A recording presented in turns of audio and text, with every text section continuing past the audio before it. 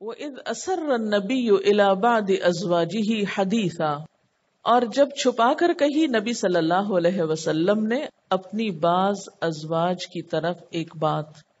یعنی نبی صلی اللہ علیہ وسلم نے ایک بات اپنی ایک بیوی سے راز میں کہی تھی۔ اب یہ کون سی بات تھی؟ بعض نے تو اس کو پچھلے ہی واقعے سے متعلق بتایا ہے۔ کیا؟ کہ آپ نے جب قسم کھائی تھی تو ساتھ ہی یہ بھی فرمایا تھا کہ یہ بات کسی اور کو نہ بتائی جائے۔ اور بعض کہتے ہیں کہ نہیں، یہ واقعہ کچھ اور تھا۔ بہرحال، بات چونکہ راز کی تھی، اس لیے راضی رہنے دیتے ہیں۔ یہاں سے جو بات پتہ چلتی ہے، وہ یہ کہ آپ نے اپنی بیوی کو اپنا محرم راز بناتے ہوئے ایک بات خفیہ طور پر کہی تھی۔ اس سے بھی شوہر اور بیوی کے باہم تعلقات کا پتہ چلتا ہے۔ یعنی جہاں ان آیات میں کچھ احکامات پتہ چل رہے ہیں، وہاں شوہر بیوی کے باہم تعلقات کی نوعیت بھی پتہ چل رہی۔ کہ اللہ کے رسول صلی اللہ علیہ وسلم اپنے گھر والوں سے کس طرح کا معاملہ کیا کرتے تھے۔ شوہر اور بیوی کا تعلق دنیا کا ایک انوکھا تعلق ہے۔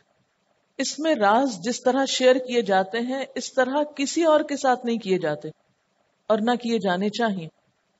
ان دونوں ہی کا تعلق ایسا ہے کہ جس میں آتا ہے، ہن لباس الکم و انتم لباس اللہ اور یہ مقام اور یہ موقع ان دو کے باہم تعلق کے علاوہ کہیں اور نہیں ہو سکتا۔ کسی اور کے ساتھ ایسے جذبات اور ایسے معاملات نہیں رکھے جا سکتے۔ درست نہیں ہے۔ چھوٹی موٹی راز کی باتیں تو انسان ایک دوسرے کو بتاتا رہتا ہے، لیکن خاص راز جو ازدواجی زندگی سے متعلق ہیں، جو شوہر اور بیوی کے درمیان ہیں، وہ لیک نہیں ہونے چاہیے وہ باہر نہیں جانے چاہیے وہ اد اثر نبی بعد ازواجه حدیثا اور جب نبی صلی اللہ علیہ وسلم نے ایک بات اپنی ایک بیوی سے راز میں کہی تھی، خفیہ طور پر کہی تھی، چھپا کر کہی تھی، کیونکہ آپ کو ان کی رازداری پر بہت اعتماد تھا۔ اور آپ جانتے ہیں کہ شوہر اور بیوی کے باہم تعلقات کا سارا حسن اعتماد میں ہے، ساری خوبصورتی آپس کے ٹرسٹ میں ہے۔ میوچل ٹرسٹ میں ہے۔ کیونکہ اگر باہم اعتماد نہ ہو تو انسان ایک دوسرے کو اپنا راز دے ہی نہیں سکتا۔ اور ایسے تعلق میں کوئی خوبصورتی بھی نہیں ہے پھر، جس میں راز نہ شیئر کیا جا سکے۔ اسی لیے آپ دیکھیں کہ نیک عورتوں کی صفت قرآن پاک میں کیا بتائی گئی؟ سورت النساء میں گزر چکی ہے فصالحات قانتات حافظات للغیب اللہ تعالی کی نگاہ میں پسندیدہ بیوی کی ایک صفت ہے، حافظات للغیب، کہ وہ شوہر کے رازوں کی محافظ ہوتی ہے۔ ہر جگہ بیٹھ کر اندرونی باتیں نہیں کرنا شروع کر دیتی، کیونکہ عموماً عورتیں جذباتی ہوتی ہیں نا۔ ذرا سی بات پہ غصہ آیا، ذرا سی کوئی چیز ناپسند ہوئی، فوراً اندر کی باتیں جا کے میکے میں بتا دی، یا کسی دوست سہیلی سے شیئر کر لی۔ اور ویسے ہم بڑے دوست پر اعتماد کر رہے ہوتے ہیں اور اس کو اپنا سمجھ رہے ہوتے ہیں۔ لیکن اسلامی لحاظ سے یہ بات درست نہیں۔ کوئی ایسی بات جو شوہر اور بیوی کے درمیان ہوتی، جو خاص ازواجی تعلقات کے بارے میں ہوتی ہے اس کو بھی شیئر کرنا کسی اور سے منع کیا گیا اس میں۔ یعنی یہ بات انتہائی ناپسندیدہ ہے۔ اور ہمارے معاشرے میں کیا ہوتا ہے؟ شادی کے بعد فوراً سہیلیاں، ادھر ادھر کی بہنیں اور لوگ پوچھنے لگتے ہیں اور خاص باتوں کے بارے میں بازو کا سوال کرنے لگتے ہیں۔ اسلامی اخلاق کے اعتبار سے یہ بات سخت ناپسندیدہ ہے۔ منع کی گئی ہے، درستی نہیں۔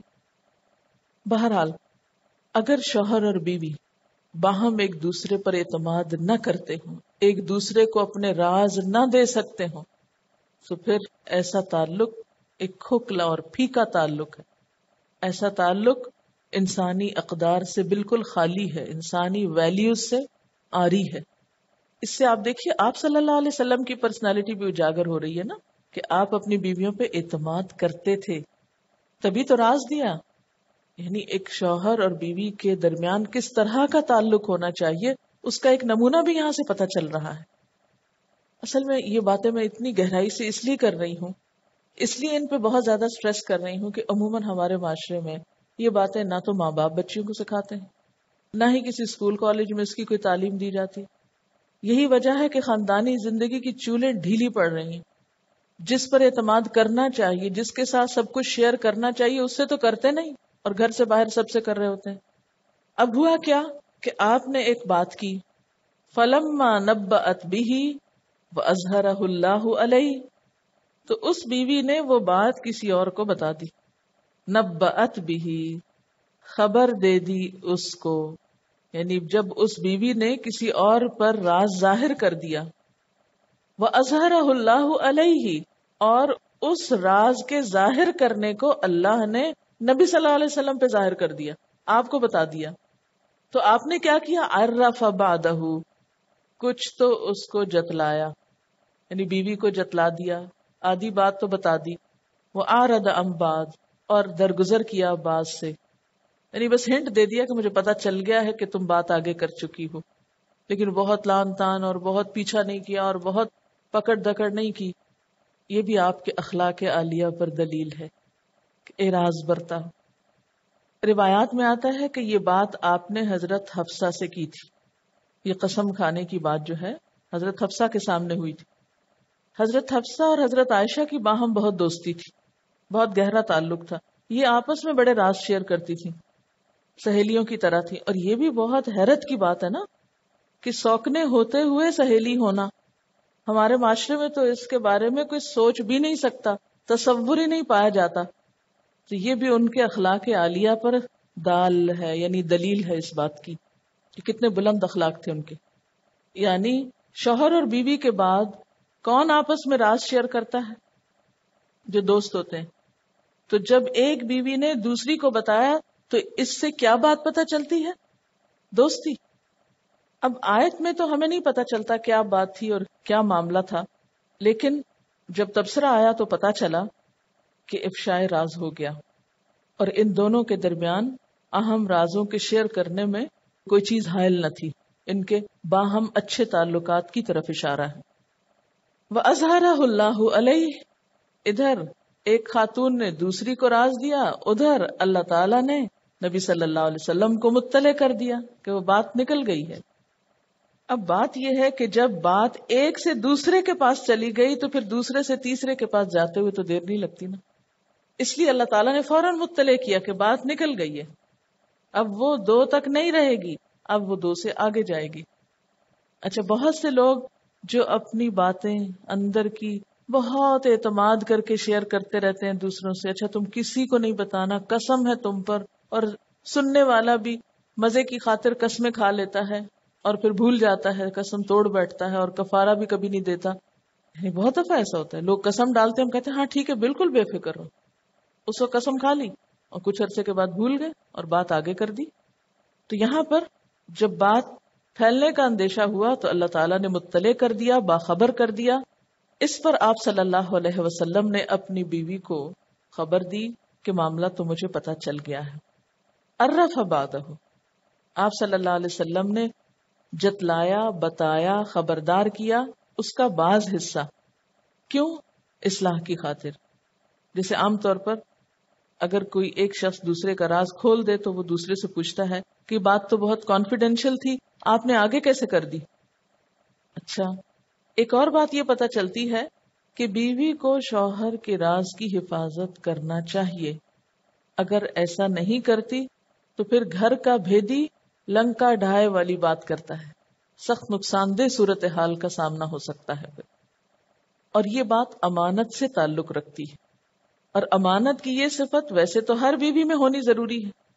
لیکن جن حضرات کی ذمہ داریاں بڑی ہوتی ہیں، جو بڑے عہدوں پہ فائز ہوتے ہیں، ان کی ازواج کی ذمہ داریاں بھی بڑی ہوتی ہیں۔ مثلا ایک چیف آف آرمی اسٹاف اس کی اہلیہ کو بہت سے ملکی راز براہ راست نہیں تو انڈائریکٹلی پتا ہو سکتے ہیں یا اس کی سد بدھ ہو سکتی ہے۔ مثلا کسی کا ٹیلی فون آ گیا۔ نام سن لیا اچھا فلاں کا آیا۔ اب وہ نام ہی جس کا ٹیلی فون آیا اور اس کو صرف اتنا پتا چلا بیوی کو کہ فلاں کا فون آیا اور اس بات کا کھلنا بھی ایک راز کا کھلنا ہے۔ وہ گھر سے باہر کسی اور کو کہتی کہ آج میرے میاں کو فلاں کا فون آیا تھا۔ تو سننے والے اس سے کئی مطلب نکال سکتے ہیں اور کئی کچھ باتیں ملک کے خلاف کنکلوڈ کی جا سکتی تو عام خواتین کو بھی شوہروں کی باتوں کی حفاظت کرنی چاہیے، لیکن وہ تمام خواتین اچھی طرح سن لیں کہ جن کے شوہر کسی اہم محکمے میں ہوں اور کسی خاص مشن پر ہوں، ان کو تو رازوں کی حفاظت اور ضروری۔ اسی لیے آپ دیکھیں نا جو لوگ پنسٹک میں کام کرتے ہیں، جو نیلور میں فیکٹری ہے، اس میں جو لوگ کام کرتے ہیں، ان کے اوپر بہت ساری پابندیاں ہوتی ہیں بہت کچھ سائن کراتے ہیں ان سے کہ یہ راز آپ کو کسی اور کو نہیں دینے، حتیٰ کہ گھر میں بھی نہیں بتانے، بیویوں تک کو بتانے کی پابندی ہوتی۔ بیوی بچوں وغیرہ سب کو۔ اسی طرح بعض لوگ انٹیلیجنس بیورو میں ہوتے ہیں، بعض اسی طرح اور خاص عہدوں پر ہوتے ہیں۔ تو عموماً کیا ہوتا ہے؟ شوہر اور بیوی دن کا ایک بڑا حصہ الگ گزارتے ہیں، پھر جب رات کو اکٹھے بیٹھتے ہیں تو دن بھر کی باتوں میں سے کچھ نہ کچھ شیئر کرتے ہیں۔ اب اس میں کتنا مشکل ہوتا ہے کہ ایک انسان اپنی جاب پر کوئی اہم بات اور کوئی اہم کام کر کے آیا ہو اور پھر گھر آ کر اس کا دل چاہے کسی سے شیئر کرے اور پھر ملک و ملت کی امانت کی حفاظت کے طور پر وہ خاموشی اختیار کرے ہاں؟ اور جن باتوں کو پھر شوہر نہ بتائے بیوی کو بلا وجہ قریدنی بھی نہیں چاہیے، پیچھا بھی نہیں کرنا چاہیے۔ اور بیوی تو کیا دوسرے رشتے داروں کو بھی نہیں، کیونکہ دوسرے کو کسی ایسی سچویشن میں مبتلا نہیں کرنا چاہیے جو اس کے لیے امبیرسنگ ہو۔ بعض اوقات بہن بھائی نہیں چھوڑتے۔ تجسس کا مادہ تو ہم سب میں ہے نا؟ اب یہاں پر آپ صلی اللہ علیہ وسلم کا اخلاق عالیہ ہے۔ ارف بادہ و آرد امباد بعض حصہ بات کا بتایا، بعض نہیں بتایا۔ ایسا کیوں کیا؟ بعض بتایا، بعض نہیں بتایا۔ یعنی آپ چاہتے تو خوب خبر لیتے۔ مثلا آپ کا راز اگر کوئی فاش کر دے تو آپ اس سے کیسا معاملہ کریں گے؟ ذرا بتائیے سوچ کے۔ آپ نے کسی کو بہت کانفیڈینس میں لے کے کوئی بات کہی، اس نے جا کے آگے بتا دی۔ ذرا سوچیں تھوڑی دیر کے لیے۔ کوئی کیفیت آئی آپ پہ؟ اس کیفیت میں آپ کا ریئیکشن کیا ہوگا؟ کہ مجھے نظر تو آئے، میں ایسی خبر لوں کہ ہوش ٹھکانے آ جائے۔ اور اگر واقعی وہ نظر آ جائے تو پھر آپ دیکھیں کتنے اخلاق عالیہ کا ثبوت دیتے ہیں۔ اس کیفیت کو سامنے رکھتے ہوئے اب آپ کے اخلاق کو دیکھیے کہ جب آپ کو پتا چل بھی گیا اور اتنے اوتھینٹک سورس سے پتا چلا تو آپ نے اس کا ذکر سرسری انداز میں کیا گھر میں۔ وہ جو بات ہوئی تھی نا، وہ میں نے منع کیا تھا تمہیں تو۔ وہ تم نے کسی اور کو کہہ دی نا۔ یعنی کوئی بہت اہمیت دے کے اور بہت سختی کر کے نہیں آپ نے کچھ فرمایا، بلکہ کچھ بتایا، کچھ نظر انداز کر دیا۔ یعنی تمبی تو ہو جائے، لیکن بیوی کے دل پہ برا نہ گزرے۔ کتنا خیال تھا آپ کو اپنے اہل خانہ کا؟ کہ تمبی کرنے میں بھی آپ کتنی نرمی سے کام لے رہے ہیں۔ لیکن ایسے ہی بلند اخلاق نبی کی جو امت ہے اس کے مرد حضرات اپنی بیویوں سے معاملہ کرتے ہوئے کیا طریقہ کار اختیار کرتے ہیں؟ اگر کسی معاملے میں ناراضگی کا اظہار کرنا ہو یا کسی معاملے میں کوئی تمبی کرنا ہو یا کہیں کچھ روکنا ٹوکنا ہو، کس طرح پیش آئیں گے؟ آپ منافقین کی منافقت پر بھی کیا طریقہ اختیار کرتے تھے؟ اعراض کا۔ عبداللہ بن ابئی نے جو کچھ کیا وہ آپ کو معلوم ہے، لیکن آپ کا طریقہ کیا تھا؟ کبھی آپ نے ایک بار بھی عبداللہ بن ابئی سے کوئی بدتمیزی اور بد اخلاقی کی نہیں نیور اسی لیے تو ان کا اللہ خلو کے نظیم تھے۔ تو جو منافقین سے اتنے بہترین اخلاق سے بات کرتے تھے، وہ اپنے اہل خانہ کے لیے کتنے بہترین ہو سکتے ہیں؟ یہی اس میں حسنا ہے ہم سب کے لیے۔ اور ویسے بھی اگر دیکھا جائے تو ازواج متحرات میں سے جو ایک نے دوسری کو بات بتائی، تو ان کی بھی کوئی نیت خراب نہیں تھی، بس عادتن بات کرتی، جیسے خواتین کی ہوتی ہے۔ کہتے ہیں نا، خواتین کے پیٹ میں کوئی چیز نہیں رہتی۔ اور چونکہ آپ کی ازواج متحرات بھی عام عورتوں کی طرح نہیں تھی صورت الحضاب کی آیت نمبر بتیس میں آتا ہے، یا نساء النبی لستن کا احد من النساء، ان اتقیتن۔ اور بتیس کے آخر میں کیا آتا ہے؟ انما يريد الله ليذهب عنكم الرجس اهل البيت ويطهركم تطهيرا تو يطهركم تطهيرا کا یہ عملی نمونہ ہے، عملی مثال ہے کہ کس طرح یہ تطہیر ہوئی۔ ہم تطہیر و تذکیر کے انداز میں پھر کیا اس اسوہ حسنہ کو فالو کرتے ہیں؟ اچھا آگے چلتے ہیں کہ پھر کیا ہوا؟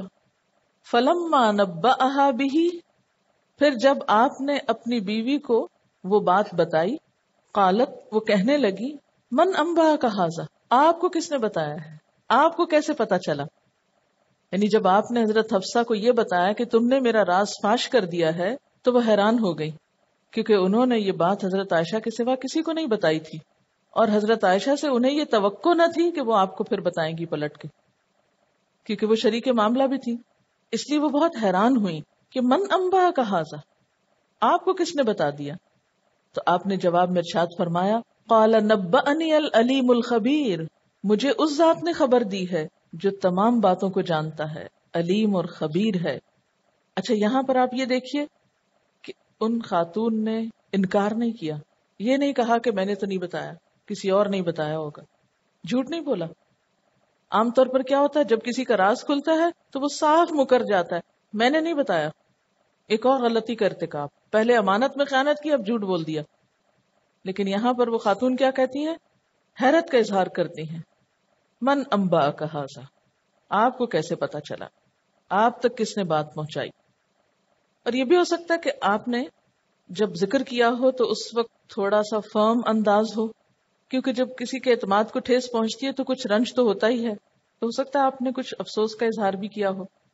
لیکن آپ نے جواب میں اس غلط فہمی کا ازالہ کر دیا کہ مجھے کسی عورت نے نہیں بتایا، مجھے کسی انسان نے نہیں بتایا نبا انی العلیم الخبیر۔ مجھے تو علیم و خبیر نے بتایا ہے۔ اچھا ہم لوگ عام طور پہ کیا کرتے ہیں؟ جب کوئی ہم سے پوچھے، آپ کو کس نے بتایا؟ پھر اصل بتانے والے کا نام نہیں لیں گے۔ پھر دوسرے کو حیران پریشان کریں گے، ادھر ادھر کی بات کر کے اس کو گھما دیں گے۔ کیونکہ ہر شخص دوسرے کو یہ کہہ کے بتا رہا ہوتا ہے، میرا نام نہ لینا۔ لہذا دوسروں کی رازداری رکھتے رکھتے خود کئی جھوٹ بول بیٹھتے۔ تو اس لیے اس واقعے میں بہت کچھ سیکھنے کو ہے۔ آپ نے اس زوجہ محترمہ کو دوسری سے بدزن نہیں کیا، بلکہ جو بات تھی وہ صاف بتا دی۔ پھر فرمایا، ان تتوبا اللہ اگر تم دونوں توبہ کر لو اللہ کی طرف، تو یہی تمہارے حق میں اچھا۔ فقط سخت کلوب تو تم دونوں کے دل مائل ہو گئے ہیں، جھک پڑے ہیں۔ اب ان جو ہے، یہ شرط ہے۔ شرط کا جواب محضوف ہے۔ اگر تم دونوں توبہ کر لو، تو کیا ہے؟ تمہاری توبہ قبول ہو جائے گی۔ تم سے یہ بات صاف ہو جائے گی۔ اور کرنی تو چاہیے ہی، اس لیے کہ فقط سخت کلوب تمہارے دل جھک گئے تھے۔ سخت کا لفظ جو ہے سغن سے، سواد، غین واؤ سگا یسغو کا مطلب ہوتا ہے پوری طرح جھکنا، ستاروں کا مائل بغروب ہونا۔ اصغا الہی ہی کا مطلب ہوتا ہے کسی کی طرف کان جھکانا۔ تو سغ عربی میں کسی چیز سے انحراف کے معنی میں نہیں ہوتا، بلکہ کسی چیز کی طرف جھکنے اور مائل ہونے کے معنی میں آتا ہے۔ تو مانا کیا ہوگا؟ کہ تم دونوں کے دل اللہ اور رسول کی طرف جھکے ہوئے ہیں، اس لیے تم توبہ کر لو تو تمہاری توبہ قبول ہو جائے گی۔ یعنی ایسا نہیں کہ اس ایک غلطی سے تم بالکل حق سے دور ہو گئی یا بھٹک گئی، نہیں۔ بہرحال تم اللہ اور اس کے رسول کی طرف رجوع کرتی ہو۔ اب آپ دیکھیے کہ یہاں پر توبہ کے لیے کیوں کہا گیا؟ جو بھی یہ سارا واقعہ پیش آیا، گزشتہ، یہ سب اچھے اخلاق کے منافی بات تھی۔ اور بڑے لوگوں کی چھوٹی بات بھی بڑی ہو جاتی۔ ہے وہ انتظاہرا علیہ اور اگر تم دونوں نے ایک دوسرے کی مدد کی آپ کے خلاف یعنی تم دونوں توبہ نہیں کرو گی یا تم دونوں اپنے اس معاملے سے باز نہ آؤ گی، تو پھر کیا ہوگا؟ اللہ تعالیٰ کو یہ بات پسند نہ آئے گی۔ تظاہر کا معنی کیا ہوتا ہے؟ کسی کے مقابلے میں باہم تعاون کرنا، کسی کے خلاف ایکا کرنا۔ یعنی اگر تم نے باہم ایکا کر لیا آپ کے خلاف، اپنی دوستی نبھاتے نبھاتے آپ صلی اللہ علیہ وسلم کو کوئی نقصان دیا تو پھر یاد رکھو ان اللہ ہوا مولا ہوں تو بے شک اللہ تعالی وہی اس کا مولا ہے۔ وہ جبریل اور جبریل علیہ السلام، وہ المؤمنین اور تمام صالح مومن والملائکت اور سارے فرشتے بعد ازال کا ظہیر، اس کے بعد مددگار ہیں۔ آپ دیکھیے کہ جب شوہر بیوی میں اس طرح کی کوئی بات ہو جاتی ہے، تو بہرحال ایک دوسرے کے تعلق میں تھوڑی سی سرد مہری بھی آ جاتی ہے۔ ذرا ایکسٹرا احتیاط کے رویے میں تھوڑے سے کھچاؤ بھی آ جاتا ہے۔ اور اس سے ایک کا دوسرے سے تھوڑا دور ہونا اس چیز کی اصلاح کی بھی ضرورت ہے۔ تو ازواج متحرات کو جب پتا چلا کہ معاملہ سارا کھل گیا ہے، تو ان دونوں کے اوپر جو کیفیت گزری، اس سے دونوں کو کیا کہا جا رہا ہے؟ باہر نکل آؤ توبہ کر کے۔ زیادہ دیر تک ایسی کیفیات جو ہیں وہ ازواجی زندگی کو بھی اور ایمانی حالت کو بھی نقصان دیتی۔ دیکھیے کہ انسانوں سے غلطیاں ہوتی ہیں۔ لیکن غلطی کا مطلب یہ نہیں کہ انسان اس پر بیٹھ ہی جائے اور اس کو اپنا شعر بنا لے۔ اس سے باہر نکل اور نکل کر پھر ایسا کر دے گویا غلطی ہوئی نہیں۔ کیونکہ اتائب من الذنب کمن لا ذنب له۔ کسی بھی گناہ سے توبہ کر لینے والا ایسا ہے جیسے اس نے کوئی گناہ کیا ہی نہ ہو۔ اچھا یہ جو بات ہے نا پیچھے فرشتے اور یہ سب مددگار ہوں گے۔ اس بات کو تھوڑا سا اور دیکھیے کہ ازواج متحرات کا چونکہ تعلق بہت نازک تعلق تھا نا، تو ان کو یہ سمجھایا جا رہا ہے کہ دیکھو، اگر تم نے آئندہ اس طرح کا کوئی کام کیا اور آپ کے خاص رازوں کو فاش کیا، تو پھر یہ تمہارے حق میں اچھا نہیں ہوگا۔ اور یاد رکھو، اگر تم نے کوئی بھی نقصان دیا آپ کو، تو اللہ تعالیٰ اور فرشتے اور سارے نیک مومن آپ کے مددگار ہیں۔ اور یہ ایک حقیقت ہے اگر بیوی سیدھے رستے سے ہٹ جائے اور شوہر کی وفادار نہ رہے، تو اس کو بڑے سے بڑا نقصان پہنچا سکتی۔ تو ان کی نازک حیثیت کو سامنے رکھتے ہوئے اتنی شدت اختیار کی جا رہی ہے یہاں پر اصلاح کرنے میں۔ اصا رب امید ہے کہ اس کا رب۔ ان طلّہ کا کننا اگر تم سب عورتوں کو طلاق دے دے۔ اب یہاں ایک اور بات کہی جا رہی ہے۔ بعید نہیں کہ اگر نبی تم سب بیویوں کو طلاق دے دے۔ اب سوال یہ پیدا تھا کہ کام تو دو نے کیا تھا سب کی بات کیوں ہے؟ یہاں اب پچھلے سے نہیں تعلق، یہاں ایک جنرل سٹیٹمنٹ ہے۔ اگلی پچھلی سب کو وارننگ دی جا رہی ہے کہ محتاط رہو۔ تمہاری پوزیشن بہت نازک ہے۔ اگر تم نے صحیح تعاون نہ کیا تو یہاں تک بھی نوبت آ سکتی ہے کہ نبی صلی اللہ علیہ وسلم تم سب کو الگ کر سکتے ہیں۔ اللہ کی طرف سے اجازت ہے۔ اور بعض روایات میں یہ بھی آتا ہے کہ نان نفقے کے معاملے میں ازواج متحرات نے آپ صلی اللہ علیہ وسلم کو کچھ پریشان کیا تھا، جس کا ذکر صورت اللہ حضاب میں بھی آپ پڑھ چکے ہیں۔ انہی حالات میں حضرت عمر اپنی بیٹی حضرت حفصہ کے پاس گئے اور کہنے لگے، بیٹی، کیا بات ہے؟ تم آپ صلی اللہ علیہ وسلم سے سوال جواب کرتی ہو۔ حضرت حفصہ کہنے لگی، واللہ، ہم تو سوال جواب کرتی ہیں۔ یعنی ہمارے درمیان شوہر بیوی کا تعلق ہے اور بعض اوقات آرگیومنٹ ہوتی ہے۔ حضرت عمر نے کہا، خوب سمجھ لو، میں تجھے اللہ کی سزا اور اس کے رسول کے غصے سے ڈراتا ہوں۔ یعنی تم اپنا یہ طرز عمل بدل لو۔ بیٹی، تو اس عورت کی وجہ سے دھوکہ مت کھانا جو اپنے حسن و جمال اور آپ کی محبت پہ نازا ہے۔ اور ان کا اشارہ حضرت عائشہ کی طرف تھا کہ تم اس کی دوستی میں وہی کچھ کر رہی ہو جو وہ تم کو کہتی ہے۔ لیکن اس کا معاملہ تو حضور کے ساتھ خاص ہے، تم اپنے آپ کو سنبھال کے رکھو۔ ارے بالکل ایک طبی فطری سے تعلقات ہے نا، جیسے ہر ماں باپ اپنے بچوں کو سمجھاتے ہیں۔ یہاں سے یہ بات بھی پتہ چلتی ہے کہ ماں باپ کو بجائے سسرال کو بلیم کرنے کے اپنے ہی بچوں کو سمجھانا چاہیے۔ عموماً کیا ہوتا ہے کہ اگر کوئی بچی شوہر کی شکایت لے کر آئے تو والدین کا طریقہ کیا ہوتا ہے؟ کیا کرتے ہیں؟ داماد کو برا بلا کہنے لگتے ہیں۔ وہ بڑا ظالم ہے، وہ ایسا اور ویسا ہے۔ لیکن یہاں صحابہ کرام کا طریقہ کار کیا ہے؟ کہ ان کو کچھ نہیں کہتے۔ اپنی بیٹی کو سمجھاتے ہیں۔ حضرت عمر فرماتے ہیں کہ آپ کی بیویاں اکٹھی مل کر آپ سے آرگیومنٹ کرنے لگی لڑنے جھگڑنے لگی تو میں نے انہیں کہا، کچھ بعید نہیں کہ پیغمبر تم سب کو طلاق دے دے اور اس کا رب تم سے بہتر بیویاں دے دے۔ اصا ربہ ان تلق کن۔ ایوب دلہ ازواجن خیرم من کن۔ بعید نہیں کہ اگر نبی صلی اللہ علیہ وسلم تم سب بیویوں کو طلاق دے دیں تو اللہ اسے ایسی بیویاں تمہارے بدلے میں عطا فرما دے جو تم سے بہتر ہوں۔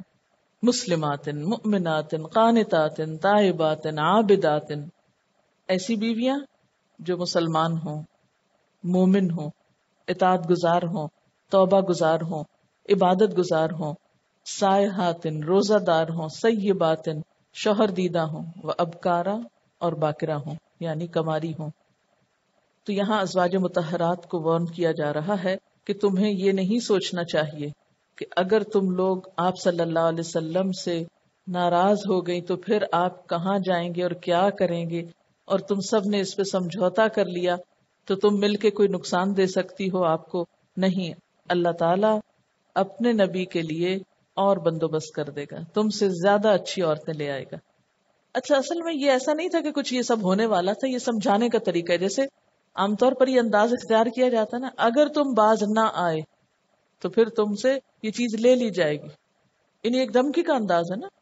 مثلا آپ کا بچہ، آپ نے اس کو بہت شوق سے کمپیوٹر لے کر دیا اور اب وہ اس سے اٹھتا ہی نہیں، نماز میں تاخیر کر رہا ہے یا پڑھائی میں دل نہیں لگا رہا، تو آپ کیا کہتے ہیں؟ اگر تم باز نہ آئے تو پھر کیا ہوگا؟ تم سے یہ چیز لے لی جائے گی۔ اس سے نا مطلب ہوتا کہ ماں باپ اب لے کے کہیں اور رکھنے لگے یا بیچنے لگے ہیں۔ عموماً یہ دھمکی سمجھانے کا ایک انداز ہوتی ہے۔ تو یہاں بھی ازواج متحرات کو دراصل سمجھایا جا رہا ہے کہ تم اگر اپنے مطالبات سے دستبردار نہ ہوئی یا پھر آپ صلی اللہ علیہ وسلم کے ساتھ تم نے اپنا معاملہ بہت اچھا نہ کیا، تو یاد رکھو پھر تم ہی کو نقصان ہوگا۔ اور پھر جو صفات ہیں، اچھی مسلمان عورتوں کی، مسلمات، مؤمنات، قانتات قانتات، قنوت، ایسی اطاعت کو کہتے ہیں جو پورے خوشو و خزو سے ہو اور اس میں دوام بھی ہو۔ یہ نہیں ایک دن بات مانی اور بہت اچھی طرح مانی اور دوسرے دن بھول گئے اور تیسرے دن بالکل فراموش کر دیا۔ نہیں، اس میں کنسسٹینسی بھی ہو کنٹینیوٹی بھی ہو اور پوری طرح دل کی توجہ بھی ہو۔ پھر آپ دیکھیے کہ یہاں پر سائے کا لفظ آیا ہے۔ ساحل ماں کہتے ہیں پانی کا آوارہ پھرنا یعنی جیسے پانی گر جاتا ہے نا تو پھر ادھر ادھر پھیل جاتا ہے۔ فراخ جگہ کے لیے بھی استعمال ہوتا ہے۔ ساحا سہن کو کہتے ہیں۔ گھر کا آنگن۔ قرآن پاک میں سیر و سیاحت کے لیے بھی یہ لفظ استعمال ہوا ہے۔ اصل میں یہ ان اللہ والوں اور درویشوں کے لیے لفظ استعمال ہوا جو سفر کی حالت میں بھی روزہ رکھتے تھے۔ یعنی دین کے لیے نکلتے اور ساتھ روزہ دار بھی ہوتے۔ اس لیے پھر یہ لفظ روزہ رکھنے والے کے لیے بھی استعمال ہونے لگا۔ تو یہاں ازواج متحرات ظاہر آپ صلی اللہ علیہ وسلم کے ساتھ تو جایا کرتی تھی غزوات وغیرہ میں۔ قرآن اندازی کے بعد جیسے غزوہ بن المستلق میں کون ساتھ تھی حضرت عائشہ۔ لیکن اس کے ساتھ ساتھ روزہ دار بھی تھی ان صفات کو آج کی مسلمان عورت میں بھی نظر آنا چاہیے۔ مسلمات مؤمنات قانتات تائبات عابدات سائحات خود کو پرکھی طیبات سیب کہتے ہیں لوٹ کر آنے والی کو۔ یعنی وہ خاتون جو بیوہ ہو جائے یا اس کو طلاق ہو جائے اور پھر وہ بغیر خامند کے ہو جائے۔ ایسے ہی جیسے پہلے تھی۔ اور ابکارا بکر کی جمع ہے کماری عورت کے لیے استعمال ہوتا ہے۔ یعنی جو اپنی تخلیق کی پہلی ہی حالت پر ہے، اس میں کوئی فزیکلی چینج نہیں آیا۔ یعنی کماری لڑکی کے لیے استعمال ہوتا ہے۔ اب یہاں پر آپ دیکھ رہے ہیں، سیب کو ابکار پر تقدم حاصل۔ ہمارے معاشرے میں اگر شادی کرنا ہو تو کیا دیکھتے ہیں؟ لڑکی کا نکاح تو کیا منگنی بھی نہ ٹوٹی ہوئی ہو۔ یعنی یہ بہت بڑا کرائٹیریا سمجھا جاتا ہے نا کہ ہم نے ایسی لڑکی پسند کی یا ایسی لڑکی کے ساتھ نکاح کیا کہ جس میں ایسا کوئی ایب نہیں تھا۔ یہ لڑکی کا ایب بنا دیا گیا۔ یعنی کسی بھی وجہ سے اگر خدا نخواستہ کسی لڑکی کا کوئی رشتہ ٹوٹ جاتا ہے یا پھر طلاق ہو جاتی ہے یا لڑکی بیوہ ہو جاتی ہے تو عموماً اس کو منحوس سمجھا جاتا ہے، اس سے کوئی شادی کرنے کو تیار نہیں ہوتا۔ لیکن اسلام میں کسی لڑکی کے اچھا ہونے کے لیے یہ کوئی معیار نہیں کہ وہ کماری ہے آپ صلی اللہ علیہ وسلم نے یہ نہیں فرمایا کہ تم یعنی جس حدیث میں آتا ہے نا کہ چار قسم کی عورتوں سے شادی کی جاتی ہے فس پر بذات دین تو دین والی کو اختیار کرو، اس کو نمبر ون رکھا۔ ان چار صفات میں سے ایک بھی صفت یہ نہیں بتاتی کہ وہ کماری بھی ضرور ہو۔ ہاں؟ اصل صفت کیا ہے؟ جس کی بنا پر عورت سے شادی کرنی چاہیے، وہ ہے اس کی دینداری، اس کا نیک ہونا، اس کے اندر تقوی اور اخلاق کا ہونا۔ اس لیے اللہ سبحانہ و تعالیٰ نے نبی صلی اللہ علیہ وسلم کی ازواج متحرات کے لیے جو صفات پسند کی، ان میں سیب اور ابکار میں بھی سیب کو پہلے نمبر پہ رکھا۔ اور آپ دیکھیں، آپ صلی اللہ علیہ وسلم کے ہاں سوائے حضرت عائشہ کے باقی تمام خواتین جو تھی وہ پہلے سے شادی شدہ تھی تو خلاصہ ان آیات کا کیا ہوا؟ ہوں؟ چونکہ اگلا رکو اسی پر بیس کرتا ہے، تو خلاصہ کیا ہوا؟ کہ ایک اسلامی معاشرے میں اللہ کا حکم اور اللہ کی اطاعت اہم ترین چیز ہے۔ نفرت اور محبت اللہ ہی کی خاطر ہونی چاہیے، خواہ اپنے قریبی رشتہ داروں سے ہی کیوں نہ ہو۔ اور جو محبت احتساب سے خالی ہو، یہ جملہ لکھ لیجیے۔ جو محبت احتساب سے خالی ہو، احتساب کس کو کہتے ہیں؟ اکاؤنٹیبلٹی جو محبت احتساب سے خالی ہو، وہ محبت نہیں، شیطان کا پھندا ہے۔ جس محبت میں آپ دوسرے کی اصلاح نہ کر سکیں، دوسرے کو اس کی غلطی نہ بتا سکیں، وہ محبت ہی کیا ہے؟ اہل ایمان کی محبت کا اصل حسن کیا ہے کہ جس سے جتنی محبت ہو، اس کی غلطیوں پر اتنی ہی فکر مندی ہو، اتنی ہی پریشانی ہو، اس کی اصلاح کی اتنی ہی زیادہ کوشش کی جائے۔ کیونکہ اہل ایمان جو ہے ہوش مند باشعور اور سمجھدار لوگ ہوتے ہیں۔ وہ اصلاح کے طریقے میں رشتے کاٹ کے نہیں رکھ دیتے، بلکہ نفرت اور محبت میں اعتدال برتتے ہوئے دونوں میں اصلاح کی کوشش کرتے ہیں۔ اس طرح آپ دیکھیں کہ صورت طلاق اور صورت تحریم کا باہم جوڑ کس طرح ملتا ہے۔ ایک میں طلاق کی بات ہے، دوسرے میں پھر محبتوں کی بات ہے، لیکن دونوں میں اصلاح ہے۔ وہ